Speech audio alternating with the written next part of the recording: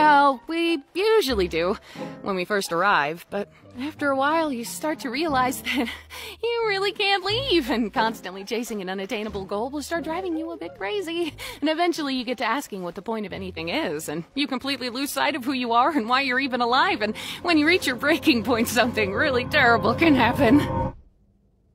Welcome to the amazing digital circus!